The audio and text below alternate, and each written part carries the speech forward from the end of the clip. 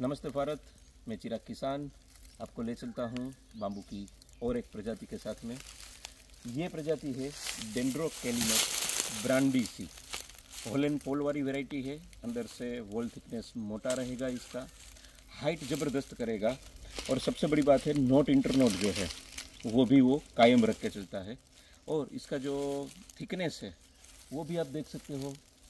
ऐसे ही ऐसे ही, जैसा नीचे है, वैसे के वैसे ऊपर तक। सिमिलरली जो है, वो निकाल के देता है 20-25 फीट तक सेम रहेगा। उसके बाद थोड़ा डायमीटर में चेंज आएगा। तो ब्रांडी सी वेराइटी जो लोग लंबे समय तक मतलब सेवन इयर्स तक वेट कर सकते हैं, उनके लिए ये वेराइटी है। एकदम मस्त है। चौथे साल के बाद हार्वेस्टिंग ले सकते हैं, लेकिन कॉमर्शियल फ़ार्मिंग अगर कर रहे हैं इकोनॉमी जो है आपको सूटेबल चाहिए तो सेवन ईयर्स पर पहला मेच्योरिटी का उसका पीरियड रहेगा। चौदह साल तक ये कांस्टेंट जो है ग्रोथ देता रहेगा।